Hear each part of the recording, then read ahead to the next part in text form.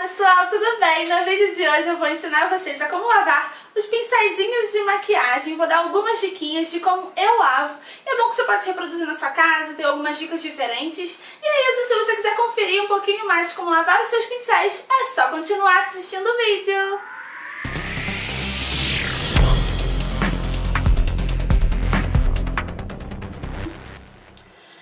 Pessoal, nós vamos precisar de um recipiente. Aí você pega aquele que você tiver em casa, que você achar melhor, tá?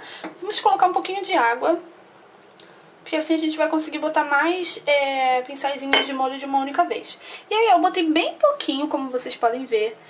E eu vou colocar o um shampoo de neném. Aí você pode optar por cheirinho, aquele que você achar melhor. Eu gosto muito desse aqui, porque ele é transparente, então eu consigo ver melhor a espuma e tudo mais. Enfim, eu prefiro esse, tá? Mas pode ser qualquer um que você goste.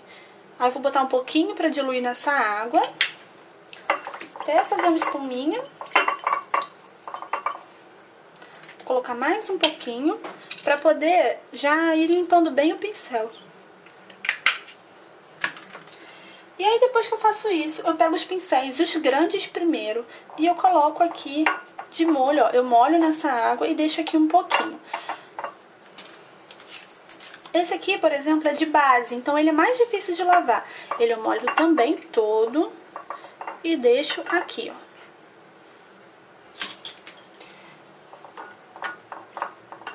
Eu não deixo ele todo mergulhado na água, só a pontinha, porque eu acho que limpa, limpa melhor assim. E também evita danificar a, essa parte aqui que fica com cola, tá? Eu boto pouca água também, gente, porque eu posso colocar tanto os pincéis grandes quanto os pincéis pequenos de molho. Aí assim eu posso usar numa vez só. Eu normalmente não lavo todos os meus pincéis de uma vez, porque eu vou lavando conforme vai ficando sujo. Eu separo alguns e lavo, e também para não ficar sem nenhum pincel enquanto esses estão secando. É só você colocar e deixar.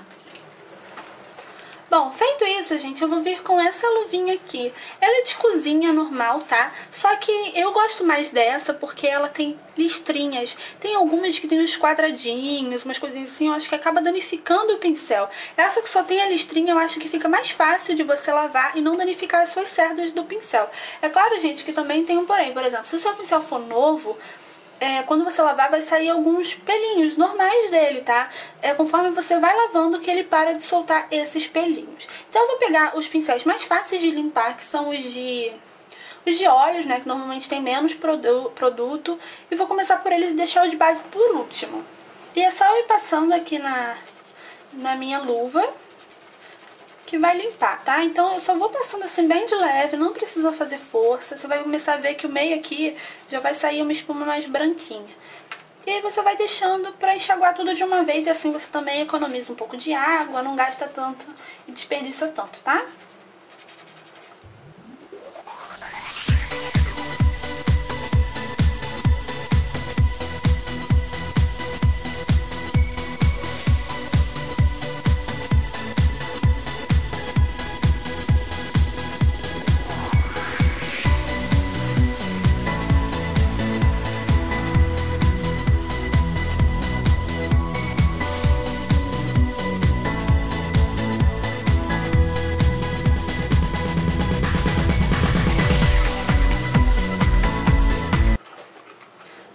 Último eu deixei de base porque, como eu falei, é o mais difícil, então eu deixei ele mais tempo de molho. Aí, ó, ele já vem mais fácil pra eu limpar.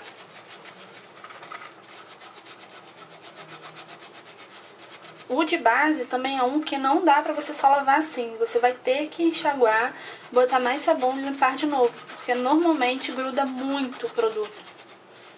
Então eu vou abrir aqui lavar a luva e vou lavar ele um pouquinho. Só lembrando que a água não pode ir pra parte do, do cabo, tem que ficar só nas cerdas, tá?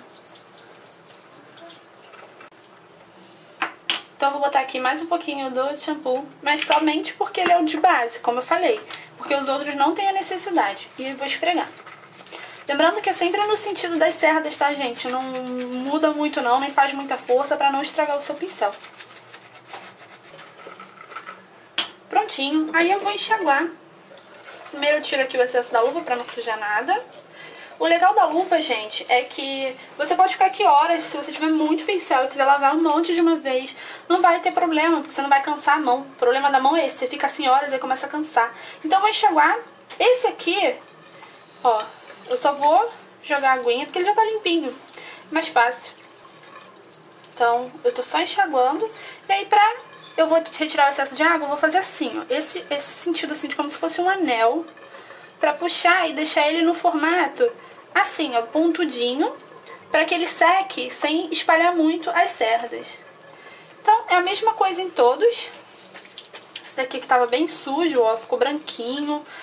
E sem precisar lavar muita coisa. Só um pouquinho de água, um pouquinho do, do shampoo que já vai já vai dar o resultado. Se você não tiver a luva, você também pode fazer com a mão. É só você fazer em movimentos circulares também, porém é um pouco mais cansativo, tá, gente? Eu vou ser bem sincera. Depois que eu conheci a luva, ficou um pouco mais fácil. Então agora eu vou precisar aqui de, de sombra. Você pode lavar vários de uma vez. Você junta todos e lava, ó. Enxágua já tudo, todo mundo junto e puxa também eles pra pontinha pra ficarem com as cerdas todas juntinhas, porque é sempre melhor, tá? Se você tiver algum pincel, como esse meu aqui, que tenha, esteja com cabo sujo, lava primeiro o cabo, passa um pouquinho de água ou de sabão, sem deixar a água entrar nessa, nessa dobra aqui, pra não soltar o seu pincel. E aí você enxágua depois ele. E assim todo ele vai ficar bem limpinho também.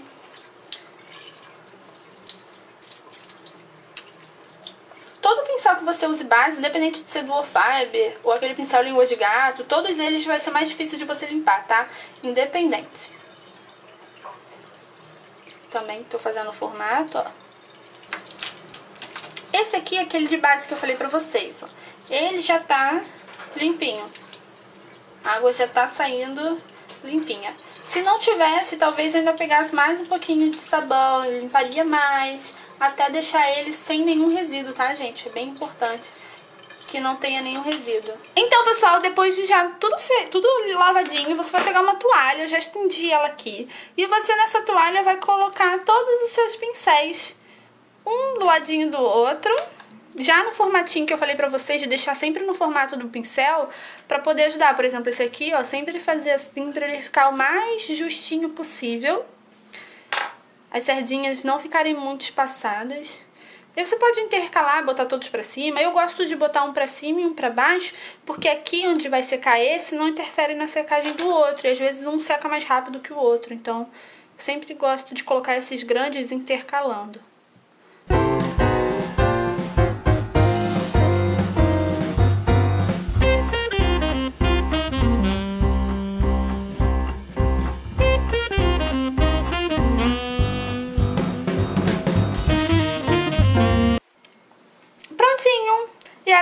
Aguardar secar. Normalmente seca em algumas horas. Se você lavar à noite, então, eles vão ficar sequinhos já pela manhã, pelo menos a maioria deles. Talvez esses que são maiorzinhos, assim, bem mais gordinhos, esses costumam demorar um pouquinho mais. Os básicos costumam demorar um pouquinho mais. Agora, o que for cerda sintética, com certeza seca no, no, é, nessas horas, assim, primeiras horas, ele já tá bem sequinho. Agora, os de cerdas naturais, às vezes costumam demorar um pouquinho mais. É só deixar na toalhinha que vai ficar sequinho e todos vão ficar bem cuidados e protegidos.